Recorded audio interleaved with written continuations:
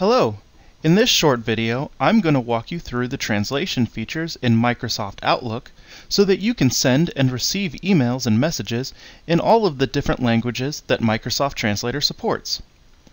I've already got Outlook open here, so let's get started. I recently received an email from a customer that is written in Polish. I can't read the message, but that's not a problem with the translation features in Microsoft Outlook. To translate the message, all I need to do is double click on the message to open it up in its own pop-up window. In the Message tab, select Translate and choose Translate Item.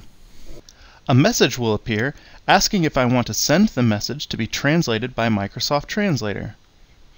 Press Send and it will open up a tab in my internet browser with a translation of the message.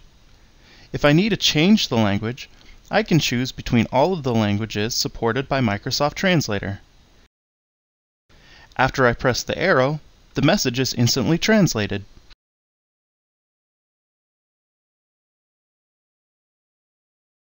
Microsoft Translator can also help me respond in another language. I'll just click on Reply to compose my response. And here is the text of the email that I already wrote. It just needs to be translated into Polish.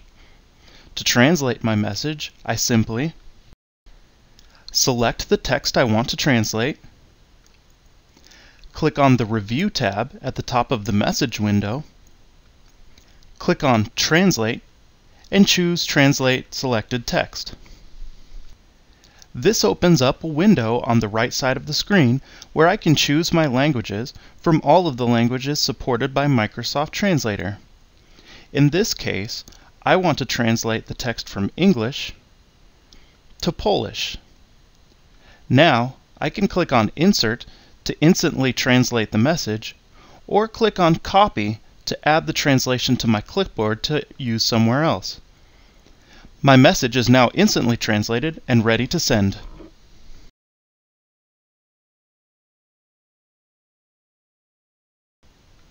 You may have noticed earlier when I clicked on the Translate features of the Review tab that I was also given an option for the Mini Translator.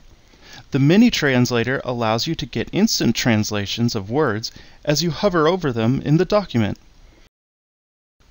To set the target language for the Mini Translator, Select Translate from the Review tab as before, and select Choose Translation Language. Just choose the language you want, and you're ready to go. The Mini Translator is also available in PowerPoint, OneNote, and Word. I hope this video has been helpful in explaining the translation features in Outlook. For more videos about Microsoft Translator, check out our YouTube channel at www aka.ms slash translator YouTube. Thank you very much.